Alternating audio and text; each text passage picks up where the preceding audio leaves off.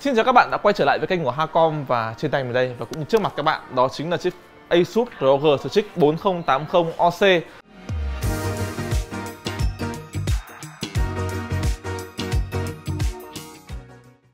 Và ở thời điểm mà chúng mình làm video này thì đây chính là chiếc 4080 đắt nhất, to nhất, xịn nhất mà các bạn có thể mua đến từ nhà Asus. Nhưng mà một thời gian sau thì có thể Asus sẽ ra những phiên bản limit hơn, ví dụ như là Poseidon các thể loại. Nhưng mà hiện tại thì đây vẫn là không phiên bản mắc pin rồi. Và với mức giá hiện tại của chiếc Asus ROG Strix 4080 này là khoảng tầm 45 triệu đồng tức là nó đắt hơn các phiên bản như TOF khoảng tầm 3 triệu thì với 3 triệu này các bạn nhận lại những gì ở chiếc Asus ROG Strix 4080 OC này thì chúng ta hãy cùng tìm hiểu trong video này nhé. Về hiệu năng của chiếc RTX 4080 thì đã có rất nhiều những cái video khác nhau trên mạng rồi nên nếu bây giờ mình liệt kê ra chắc hơi thừa. Nhưng về cơ bản thì với cái mức xung cao phiên bản mặc định khoảng tầm 5% trên chiếc ROG Strix này thì cụ thể là 2,6 GHz thì trên lý thuyết chiếc Strix 4080 sẽ cho chúng ta hiệu năng cao hơn những phiên bản cơ bản như TOF nhưng đấy là trên lý thuyết còn thực tế thì mức FPS của chiếc Strix 4080 này chỉ cao hơn khoảng tầm 3% và khá là khó nhận biết khi mà các bạn đang chơi game Nhìn chung thì về sức mạnh cơ bản thì phiên bản này không mang lại những gì khác biệt hẳn ra khi mà chơi game. Vậy nghe đây các bạn sẽ nghĩ là vậy bỏ là 3 triệu để làm gì? Chẳng phải là phí phạm cho một chiếc card không mang lại hiệu năng hơn hẳn những chiếc 4080 khác hay sao?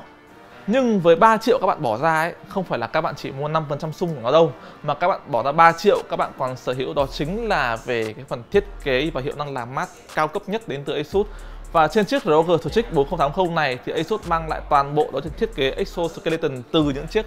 switch 4090 đổ lại xuống và đặc biệt về sơ qua thì các bạn sẽ có cái bảy cái ống đồng dẫn nhiệt cực kỳ to ở phía phía trong này và bên sau này chính là backplate bằng kim loại 100%. Về kích thước tổng thể thì Asus ROG Strix 4080 có chiều dài là 36cm và cao 15cm và nặng là 2,5 cân nên là các bạn cần một chiếc vỏ cây đủ lớn để chứa nó. Và ý mình đủ lớn không có nghĩa là chỉ cần hỗ trợ cạc dài 36 cm mà ý mình là các bạn cần những chiếc vỏ cây hỗ trợ tối thiểu cạc từ 40 đến 45 cm để có đủ những khoảng không lưu thông không khí cũng như để lắp vừa những chiếc quạt phía trước giúp đẩy thêm gió làm mát vào cả màn hình. Một vài mẫu cây mà mình có thể đề xuất ở đây ví dụ như là Corsair 5000D, Lanley O11 Dynamic và Dynamic XL hay là chiếc Asus GT501 trở lên.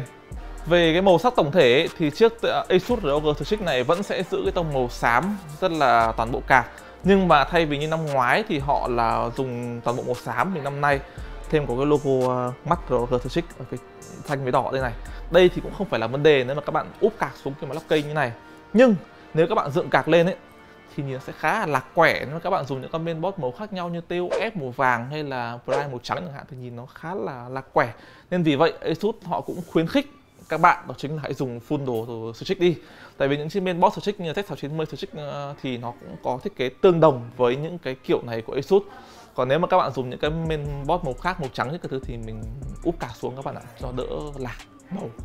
bù lại cho cái việc tô vẽ mặt trước thì năm nay dòng sản phẩm Switch sẽ trang bị cho chúng ta hai cái dải đèn led RGB kỹ thuật số đầu tiên là phần đuôi cạc và thứ hai đó chính là chữ Republic of Gamer ở phía trước Việc điều khiển vẫn sẽ thông qua phần mềm Asus Armory Crate như thường lệ với rất nhiều chế độ LED khác nhau. Mặc định sẽ là xanh và đỏ theo tông màu ROG phía trước, nhưng các bạn có thể tùy chỉnh vô số màu khác nhau dựa trên phần mềm và có mười mấy chế độ ấy. Và rất may là Asus họ không tô vẽ mặt sau xanh đỏ như mặt trước nên là các bạn úp xuống nhìn nó vẫn khá là đẹp và mặt sau chúng ta có các chữ ROG và những cái logo ROG này bằng kim loại bóng nên là rất phản sáng, rất là dễ với đèn led ở trong cây. Và mặc dù là do cái bo mạch năm nay rất là ngắn nên là Asus họ dành để hẳn ra 1 phần 3 chiều dài con cả để có một cái lỗ thông gió từ mặt trước ra mặt sau đúng với thiết kế được phổ biến từ các dòng RTX 3000 ngày trước và nó chứng minh rất là hiệu quả. Năm nay họ còn làm cái lỗ to hơn năm ngoái nữa để dùng cái cổng kết nối 12 pin này, các bạn vẫn sẽ cần một đầu chuyển 3 x 8 sang 1 x 12 như thường lệ và cổng kết nối này có thể cho các bạn tối đa là 450W nên khi mà các bạn mua con cạc này thì các bạn tối thiểu hãy dùng cho mình một chiếc nguồn 750W nhé. Xung quanh cạc thì ngoài phần BIOS switch để chuyển các chế độ quạt giữ im lặng và hiệu năng cao, thì Asus cũng cấp thêm cho các bạn là hai cổng cắm quạt. Đây là điểm mình thích nhất ở dòng ROG Switch vì các bạn hoàn toàn có thể cắm những chiếc quạt ở mặt trước, thổi thẳng vào cạc và được điều tốc theo nhiệt độ của cạc thay vì theo CPU như truyền thống. Vậy khi trang bị một chiếc tản nhiệt khủng như vậy thì hiệu năng làm mát ra sao? Thì Asus đã không làm chúng ta thất vọng khi nhiệt độ của card chỉ loanh quanh 50 độ thôi còn điểm nóng nhất trên card cũng chỉ chưa tới 60 độ. So với đàn em TUF 4080 rẻ hơn khoảng tầm 3 triệu thì nhiệt độ chênh lệch lên tới gần 10 độ C. Và đây là nhiệt độ khi mình để trên test bench, còn nếu mà các bạn cho vào cây thì cũng phải cộng thêm khoảng tầm 10 độ nữa. Thì chiếc 4080 Switch này vẫn rất là mát, chỉ loanh quanh 60 70 độ mà thôi. Và vẫn nói chung là cực kỳ mát rồi. Tuy nhiệt độ của chiếc Switch 4080 này mát hơn TOF khá là nhiều nhưng mức xung thì ngược lại, bản Switch vẫn luôn giữ mức xung cực kỳ ổn định ở mức khoảng tầm 2,8 GHz là cao hơn so với thông số của nhà sản xuất đưa ra và có thể coi đây là thành quả đặc biệt của việc Asus đã trang bị bộ tản nhiệt cực kỳ khủng như thế này. Như vậy với câu hỏi ban đầu của video đó chính là chúng ta bỏ thêm 3 triệu thì có đáng không? Thì theo mình là đáng tại vì các bạn bỏ ra 3 triệu ấy không phải là các bạn mua 5% sung của nó đâu mà các bạn mua đó chính là cái việc hệ thống tản nhiệt cực kỳ mát mẻ và yên tĩnh và cái thiết kế đỉnh của dòng ROG Switch. Điểm trừ duy nhất của chiếc ROG Switch 4080 này đó chính là về phần mặt trước. Nếu mà các bạn bỏ qua định kiến thì cái phần màu xanh đỏ này thì các bạn hoặc là khi các bạn đang dùng nguyên một hệ sinh thái của ROG như là mainboard switch này, vỏ cây switch này, tản nhiệt switch này thì các bạn mua con 4080 này rất là hợp lý luôn. Và theo mình nghĩ khi mà các bạn đã bỏ đã hơn 40 triệu cho một con cạc ấy thì việc bỏ thêm 3 triệu để sở hữu những cái dòng sản phẩm cao cấp như switch này là cực kỳ đáng tiền, đặc biệt là phần hiệu năng tản nhiệt và cũng như là phần im lặng của nó.